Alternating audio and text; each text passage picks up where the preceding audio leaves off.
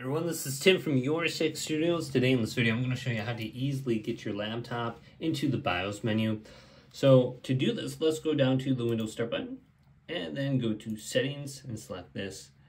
Then go on down to Windows Updates and wait for this to load and go to Advanced Options.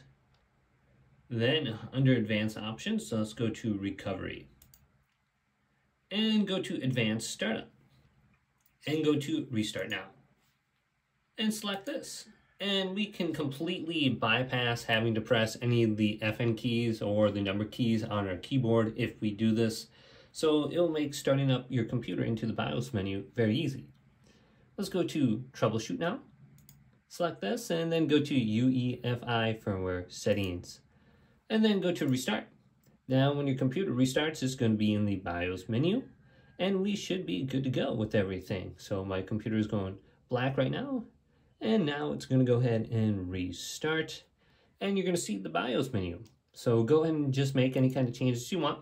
I have to use the arrow keys and press escape to go back.